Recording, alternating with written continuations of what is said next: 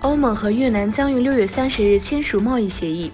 欧盟理事会宣布已经批准签署欧盟与越南之间的自由贸易协定和投资保护协议。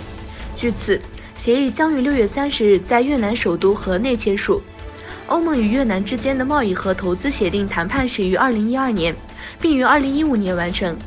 越南向欧盟国家销售通讯设备、服装和食品，而从欧盟购买机械、车辆、化学品和农产品。新图像显示，东突厥斯坦和田市新建了两个或三个新的集中营。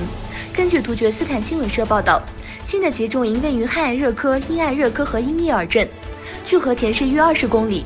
根据消息来源，有两种类型的营地。第二号集中营建在三百公顷的区域，第三号营地建在一百五十公顷的区域内。观察者担心和田可能发生新一轮任意逮捕行动。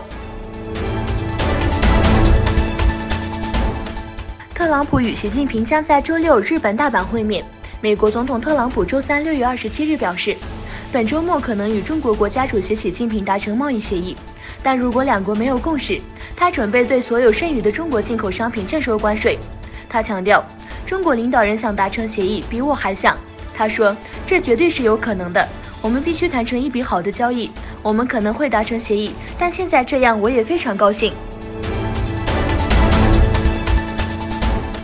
美国总统唐纳德·特朗普表示，如果可能与伊朗发生冲突，他们不会考虑派遣美国军队前往伊朗。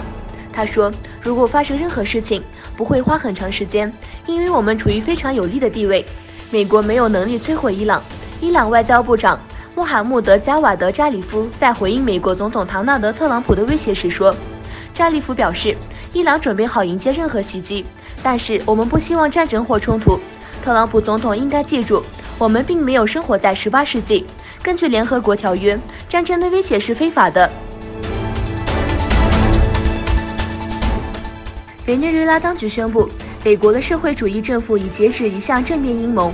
这项获美国等国家支持的阴谋包括行刺总统马杜洛，以及拥护一位将领掌权取代马杜洛。委内瑞拉通讯部长宣称，除了美国支持这项推翻马杜洛的政变阴谋，智利和哥伦比亚也涉入。此前，委内瑞拉军队多次试图发生政变，他们宣布支持瓜伊多。